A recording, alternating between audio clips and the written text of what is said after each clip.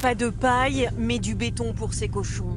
Des enclos trop exigus, des animaux blessés, laissés sans soins. En 2020, L214 a diffusé des images provenant d'un élevage de cochons fournissant la marque Erta, un élevage modèle mis en avant par Erta pour illustrer sa filière préférence. Contrairement aux engagements vantés par la marque, les images montraient des conditions d'élevage standards, déplorables pour les cochons. Elles montraient également de nombreuses infractions à la réglementation. Ces images diffusées en décembre 2020 ont provoqué une inspection des services vétérinaires de la préfecture de l'Allier. Le résultat de cette inspection est décoiffant. De manière générale, l'inspection a conclu à la bonne tenue de l'élevage et à l'absence de non-conformité majeure. Dans son communiqué, la préfecture assure même que contrairement aux éléments filmés, il n'a pas été observé d'animaux en souffrance ni de cadavres. Aucune mention de quelque non-conformité que ce soit. Diable, L214 aurait-elle des hallucinations? Du coup, certains opposants à la cause animale n'ont pas hésité à sauter sur cette belle occasion pour dénigrer le travail de L214, comme ici Jean-Baptiste Moreau, député et porte-parole de La République En Marche. Le résultat était sans appel, aucun animal en souffrance n'a été observé et l'élevage a été jugé parfaitement conforme.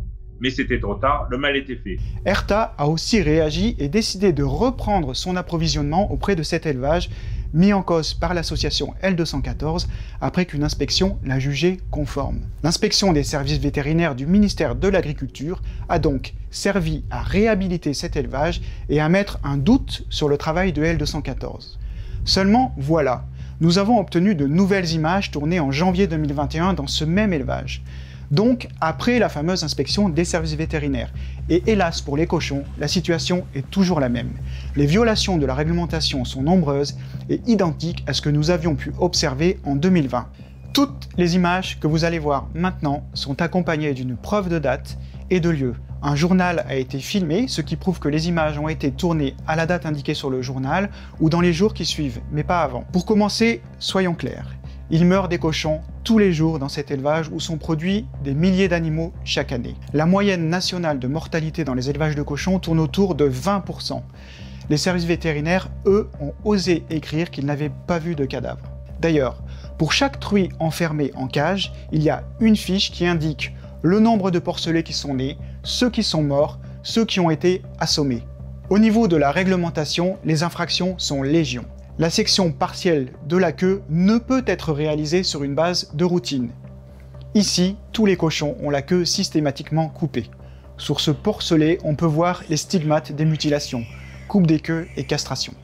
Les sols doivent être conçus de façon à ne pas causer de blessures ou de souffrance aux porcs. Ils doivent être adaptés à la taille et au poids des porcs. On peut voir ici que des porcelets se coincent les pattes dans les caillebotis, ces fentes sur le sol. Ici, à l'arrière détruit, on a des interstices de 3 cm. Tous les ports doivent pouvoir accéder en permanence à une quantité suffisante de matériaux permettant des activités de recherche et de manipulation suffisantes, telles que la paille, le foin, la sciure de bois, le compost de champignons, la tourbe ou un mélange de ces matériaux. C'est le cas nulle part dans cet élevage, ni pour les truies, ni pour les cochons engraissés. Il y a parfois une chaîne suspendue au plafond, ce qui ne répond pas du tout à la réglementation. Tous les porcs âgés de plus de deux semaines doivent avoir un accès permanent à de l'eau fraîche en quantité suffisante par un dispositif d'abreuvement. Beaucoup de cochons n'ont pas accès permanent à l'eau dans cet élevage. Le logement des porcs doit être construit de manière à permettre aux animaux d'avoir accès à une aire de couchage qui soit convenablement asséchée et propre.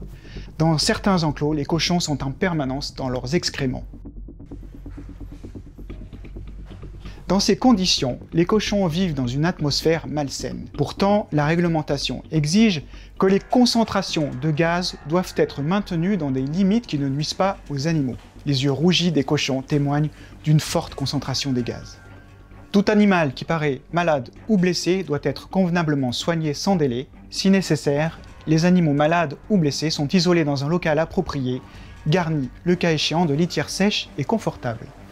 Comme en 2020, on trouve des cochons blessés qui ne sont pas soignés ni isolés. Les locaux doivent être nettoyés, désinfectés autant que de besoin. Une partie insalubre et crasseuse de l'élevage est en train littéralement de s'écrouler. Je rappelle que pour cet élevage, les services vétérinaires avaient conclu à la bonne tenue de l'élevage et à l'absence de non-conformité majeure. Il n'avait pas été observé d'animaux en souffrance ni de cadavres. Alors, Soit les inspecteurs vétérinaires du ministère de l'Agriculture ont besoin de nouvelles lunettes, soit ils se sont trompés d'élevage, soit ils ont menti. Bien sûr, nous transmettons ces nouvelles images à la justice. Dans les élevages préférant CERTA, les pratiques d'ordre réglementaire doivent obligatoirement être respectées. C'est un engagement mis en avant par ERTA. C'est une tromperie.